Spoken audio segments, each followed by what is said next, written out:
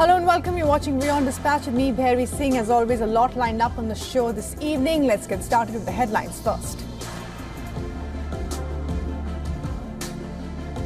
Joe Biden's poor performance and Donald Trump's lack of answers dominate the first U.S. presidential debate. President Biden mumbles as the ex-President Trump dodges questions.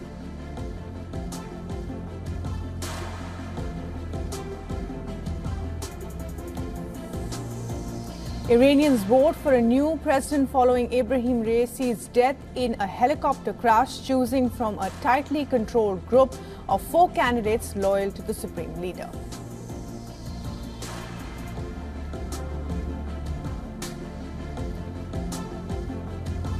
The Israeli army releases footage showing aerial strikes and tanks moving into northern Gaza.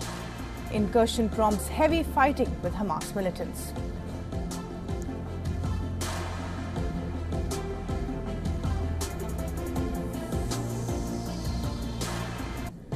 Azerbaijan's President Ilham Aliyev scheduled snap parliamentary elections for September 1st in a decree published on Friday. The move appears unlikely to radically change parliament's makeup.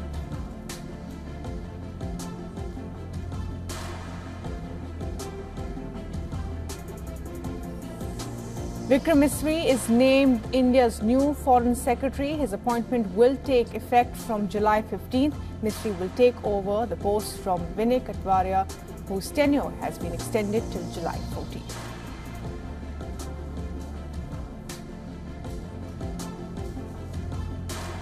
Torrential downpour causes chaos in India's capital, New Delhi, receives record-breaking rainfall in just 24 hours, surpasses the city's average for the entire month of June.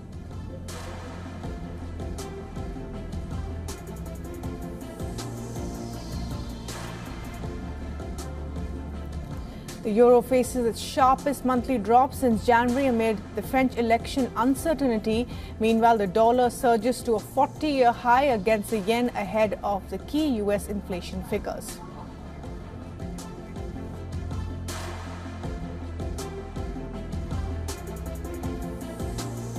For all the latest news, download the WION app and subscribe to our YouTube channel.